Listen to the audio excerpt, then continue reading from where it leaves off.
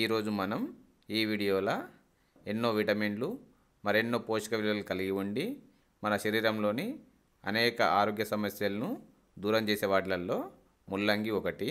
అందుకని చెప్పి మనం ఈరోజు ఈ వీడియోలో ఈ ముల్లంగి కూరను వండుకుందాం.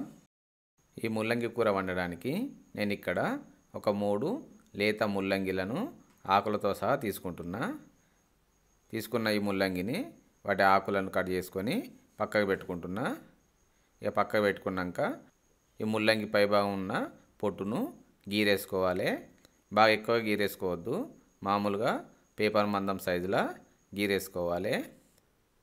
ఇక పైన ఉన్న పొట్టును గీరేసినాక ఇప్పుడు ఈ ముల్లంగి రెండు చివర్లు ఉంటాయి కదా ఆ చి- రెండు చివర్లను కూడా కట్ చేసుకోవాలి.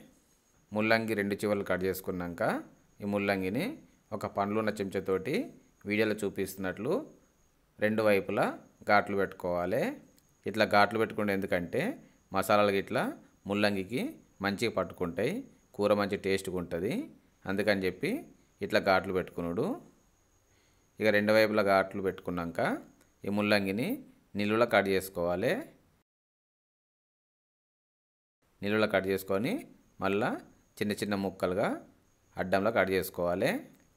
చూస్తురా వీడియోలో? అవి అట్లా కట్ చేసుకోవాలి. ఇక అన్ని ముల్లంగిలను ముక్కలుగా కట్ చేసుకున్నాక వీటిని శుభ్రంగా కడుక్కొని ఒక గిన్నెలో వేసుకోవాలి. ఈ గిన్నెలో వేసుకున్నాక దీంట్లో పావు చెంచాడు అల్లం పేస్టు చెంచాడు కారము చెంచాడు శనగపిండి సగం చెంచాడు ధనియాల పొడి పావు చెంచాడు పసుపు రుచికి సరిపడినంత ఉప్పు రెండు చెంచాల పెరుగు వేసుకొని వీటన్నిటిని అన్నీ చక్కగా కలిసిపోయేటట్టు కలుపుకోవాలి. మనం వేసుకున్న మసాలాలు ముక్కలకు మంచిగా పట్టుకోవాలి. అట్లా పట్టుకునేటట్టు నిమ్మలంగా కలుపుకోవాలి. కలుపుకొని కొద్దిసేపు పక్కకు పెట్టుకోవాలి. ఇక ఇప్పుడు మనం కట్ చేసి పక్కకు పెట్టుకున్న ముల్లంగి ఆకులను చల్ల నీళ్ళలో వేసి ఈ ఆకులను శుభ్రంగా కడుక్కోవాలి. ఈ ఆకులను శుభ్రంగా కడుక్కున్నాక ఈ ఆకులను తీసి వేరొక గిన్నెలో వేసుకొని ఈ గిన్నెలో కొన్ని వేడి నీళ్ళు పోసుకోవాలి. వేడి నీళ్ళు పోసి ఈ ఆకులను వేడి నీళ్ళల్లో ఒక రెండు మూడు నిమిషాల పాటు శుభ్రంగా కడుక్కోవాలి. ఇక ఇట్లా వేడి నీళ్ళలో వేసుడు ఎందుకంటే ఈ ఆకుకు ఏమైనా పురుగులు గిట్లు ఉంటాయి కదా అవి ఉంటే ఈ వేడికి బయటకు వస్తాయి చనిపోతాయి. మనకు ఆకులు ఫ్రెష్గా ఉంటాయి. అందుకని చెప్పి ఇట్లా వేడి నీళ్ళల్లో వీటిని శుభ్రంగా కడుక్కుంటాం అన్నట్టు. ఈ ఆకులను శుభ్రంగా కడుక్కున్నాక వీటిని తీసి పక్కకు పెట్టుకొని వీడియోలో చూపిస్తున్నట్లు ఈ ఆకులను చిన్న చిన్నగా కట్ చేసుకోవాలి. ఇక కొందరు ఈ కూర అనేటప్పుడు ఆకులు వండుకోరు.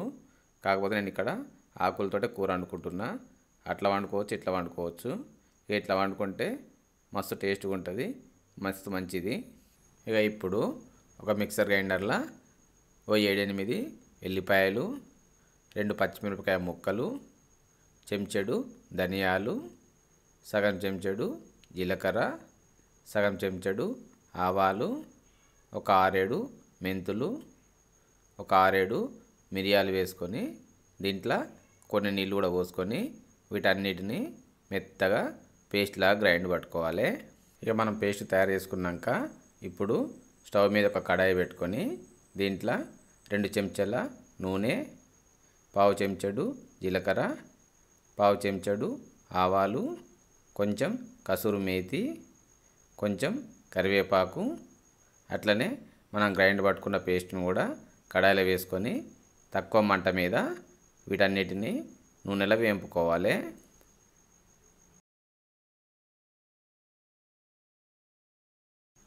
ఇవి కొంచెం నూనెలో వేగినాక దీంట్లో చెంచడు కారము పావు చెంచాడు గరం మసాలా రుచికి సరిపడినంత ఉప్పు ఒక చెంచడు నూనెలో పొడి వేసుకొని వీటన్నిటిని మంచిగా కలుపుకొని తక్కువ మంట మీద వీటిని కొద్దిసేపు నూనెలో ఉడకనియాలి ఇక ఇవి మంచిగా ఉడికి నూనె సమర్ కొంచెం దగ్గరికి వచ్చేదాకా కలుపుకుంటా నూనెలో ఉడికించుకోవాలి. చూసారు కదా నూనె మంచిగా ఇగ్గుకొని దగ్గరికి వచ్చింది కదా ఇక దగ్గరికి వచ్చినాక దీంట్లో ఒక చిన్న గ్లాసుడు నీళ్ళు కూడా పోసుకోవాలి. పోసుకొని వీటన్నిటిని మంచిగా కలుపుకొని ఇది కొంచెం ఉడికెక్కినాక మనం కలుపుకొని పెట్టుకున్న ముల్లంగి ముక్కలు ఉన్నాయి కదా వాటిని కడాయిలో వేసుకోవాలి. అట్లనే రెండు కట్ చేసుకున్న పచ్చిమిరపకాయ ముక్కలు మనం కట్ చేసి పెట్టుకున్న ముల్లంగి ఆకులను కూడా వేసుకొని ఇవన్నీ చక్కగా కలిసిపోయేటట్టు కలుపుకోవాలి. ఇక అన్నిటినీ కలుపుకున్నాక మనకు గ్రేవీ కొంచెం తక్కువ ఉంది కదా అందుకని సగం గ్లాసుడు నీళ్ళు పోసుకొని వీటన్నిటిని మళ్ళీ అన్నీ కలుపుకొని తక్కువ మంట మీదనే దీని మీద ఒక మూత పెట్టుకొని దీనిలో ఉన్న నీళ్ళు అన్నీ గుంజుకుపోయి కొంచెం గ్రేవీలాగా దగ్గరికి వచ్చినాక తక్కువ మంట మీద ఒక పదిహేను నిమిషాల పాటు మూత పెట్టి ఉడికించుకోవాలి.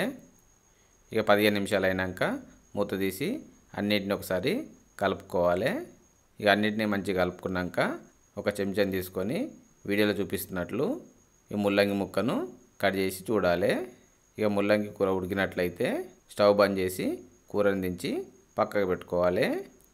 గింతే మనకు మంచి రుచికరమైన ముల్లంగి కూర తయారైపోయినట్టే. ఇక ఈ వీడియో చూసిన వాళ్ళు చూసి పట్టిన సపడే కూకుండా కుర్రి. నచ్చితే లైక్ చేయరి షేర్ చేయరి అట్నే మా ఛానల్ ఇంతవరకు సబ్స్క్రైబ్ చేసుకున్న వాళ్ళు ఉంటే సబ్స్క్రైబ్ చేసుకొని పక్కకున్న బెల్ బటన్ కొట్టుడు అయితే మర్చిపోకుర్రి.